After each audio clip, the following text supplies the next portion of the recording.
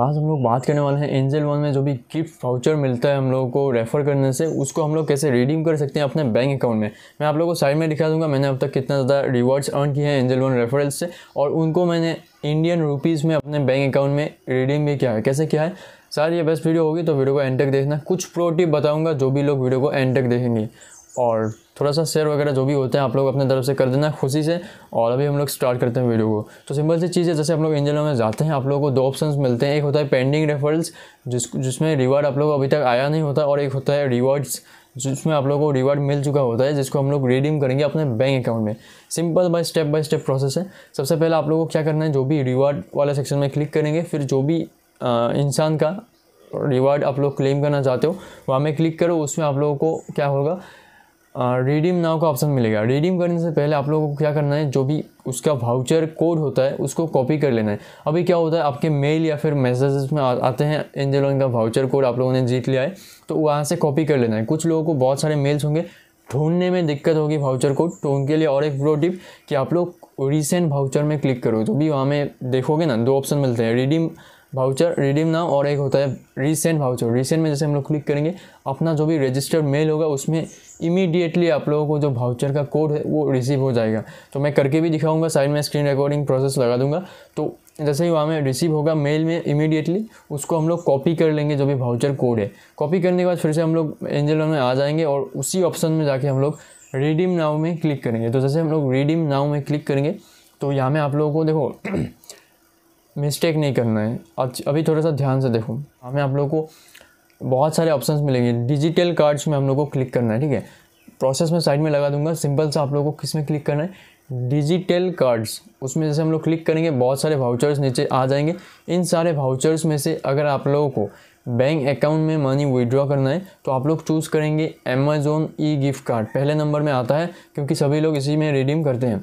ई gift card में जैसे हम लोग क्लिक करेंगे, उसके बाद आता है प्रोसेस रिडीम नाम में क्लिक करने के बाद हम लोग को यहाँ में सबसे पहले जितने भी रुपए का आप लोगों का भाउचर था, वो अमाउंट डाल लेना है और क्वांटिटी डाल लेना है। जैसे कि आप लोगों ने अभी एक क्वांटिटी रिडीम करने के आ रहे हो, एक रेफरल का मतलब होता है एक क्वांटिटी तो एक रेफरल रिवार्ड है आप लोगों का, एक ही वाउचर है तो एक क्वांटिटी डालेंगे और उसके नीचे जितना भी अमाउंट का वो गिफ्ट कार्ड है, आपका हो सकता है थ्री हंड्रेड का, किसी का हो सकता है सेवन फिफ्टी का, किसी का हो सकता है वन थाउज़ेंड का। तो मेरा जो था वो फाइव हंड्रेड का था तो आपका जितना भी अमाउंट का गिफ्ट कार्ड होगा रिवार्ड होगा, उसको हम लोगों को अमाउंट डाल लेना है। अमाउंट जैसे हम लोग डालेंगे, उसके बाद हम लोगों को कन्फर्म में क्लिक करके जाना है। नेक्स्ट पेज जैसे आएगा हमें तो आप लोगों को सबसे पहले अपना जो भी फ़ोन नंबर और नेम है, वो डाल लेना है। फ़र्स्ट नेम लास्ट नेम जैसे हम लोग डाल लेंगे, फिर फ़ोन नंबर या हमें मिस्टेक मत कीजिएगा, क्योंकि अगर गलत फ़ोन नंबर डालेंगे तो क्या होगा? वो जाएगा ही नहीं, ठीक है? क्योंकि जो भी रजिस्टर्ड फ़ोन नंबर होता है, उसी से आप लोग इसको रिडीम कर सकते हैं।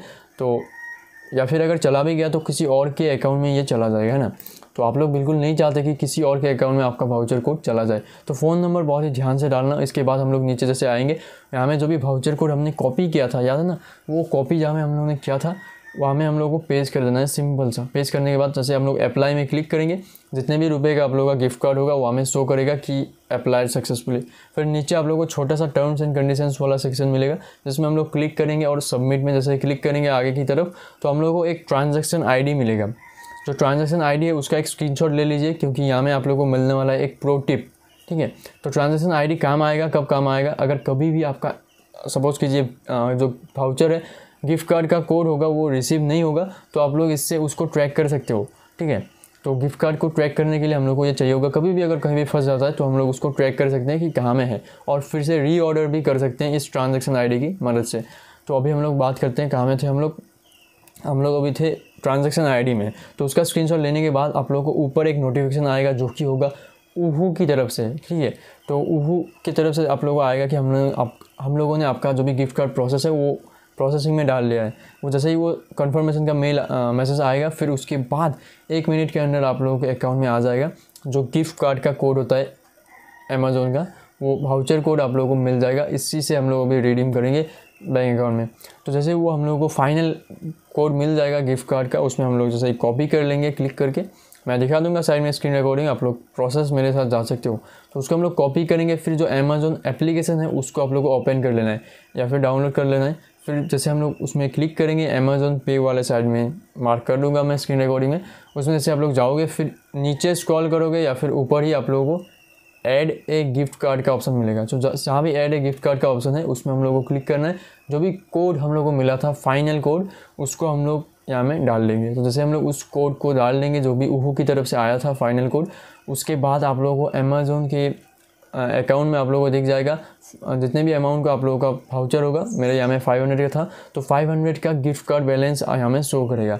तो अभी बात आती है अमेज़ोन में हम लोगों ने रिडीम किया। तो बैंक अकाउंट में कैसे आएगा। तो देखो, सिंपल सी चीज़ है, जैसे आप लोग अमेज़ोन में, यहाँ में पहुँच गया वॉलेट में गिफ्ट कार्ड वाले तो वहाँ से आप लोग क्या कर सकते हो? मोबाइल रिचार्ज कर सकते हो इलेक्ट्रिसिटी बिल पे कर सकते हो, जो भी एक्सपेंसेस होती हैं मोबाइल रिचार्ज ये सारी ये सारी चीज़ें आप लोग कर सकते हो, लेकिन बैंक अकाउंट में नहीं ले सकते। तो मैंने कैसे लिया? बैंक अकाउंट में सिंपल सी चीज़ है। आप किसी से मोबाइल रिचार्ज करवा लो, कुछ दिन रुकना पड़ेगा, खुद लोग आएँगे कि भाई मेरा इतने का रिचार्ज कर दो तो खुद से आप रिचार्ज कर दो और कैश ले लो। बात समझ में आ गई? या फिर इलेक्ट्रिसिटी बिल भी पे कर सकते हो, कहीं भी पेमेंट कर सकते हो। तो बहुत सारे मेथड्स हैं जिससे आप लोग यहाँ में विड्रॉ कर सकते हो। तो ऐसे आप लोग उस गिफ्ट कार्ड को आई में ले सकते हो, ऐसे ही मैंने लिया था। तो ये वीडियो पसंद आई, थोड़ा सा लाइक शेयर कर देना। और वीडियो के एंड में प्रो टिप देना भूल गया। तो जो ट्रांजेक्शन आईडी होता है ना, उसको रखना है। उससे क्या होगा पता है? उससे आप लोग सपोज़ कीजिए गिफ्ट कार्ड अभी तक आपको मिला नहीं। जो ऊहो की तरफ़ से आता है ना उसका अगर कोई भी मैसेज नहीं आया मतलब गिफ्ट कार्ड कहीं फंस गया है तो जैसे कहीं फंस गया है गिफ्ट कार्ड तो हम लोगों को क्या करना है, जो भी ट्रांजेक्शन आईडी था, उसको रखना है और चेक ऑर्डर स्टेटस वाले ऑप्शन में क्लिक करना है। वो आप लोगों को एंजल वन में ही मिल जाएगा, ठीक है? तो ऑर्डर का जो भी स्टेटस है, उसको आप लोग चेक कर सकते हो, अपने जो भी name first name last name phone number और जो भी ट्रांजेक्शन आईडी था, उसको जैसे डाल लोगे तो आप लोग यहाँ में स्टेटस यहाँ में आप लोगों को मिल जाएगा। कहीं में अगर फंसा है तो आप लोग उसको रीऑर्डर भी कर सकते हो। तो यही सारा बेनिफिट है, ठीक है? तो प्रो टिप आप लोगों को मिल गई। तो मिलते हैं हम लोग नेक्स्ट वीडियोज़ में, और तब तक के लिए बाय बाय